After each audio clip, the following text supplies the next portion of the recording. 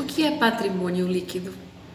No empresa, o patrimônio líquido ele é formado pelo grupo de contas que faz registro do valor contábil que pertence a acionistas ou cotistas.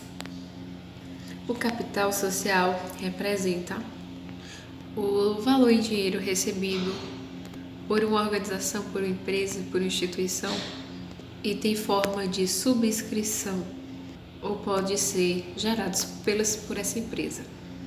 A integralização do capital vai poder ser feita por meio de moeda corrente, no caso real, aqui no Brasil, ou bens e direitos, seja um imóvel, seja é, material para a empresa, seja como for. O patrimônio líquido faz parte do passivo. Patrimônio líquido nós também chamamos de PL e fica do lado direito nas contas do balanço patrimonial.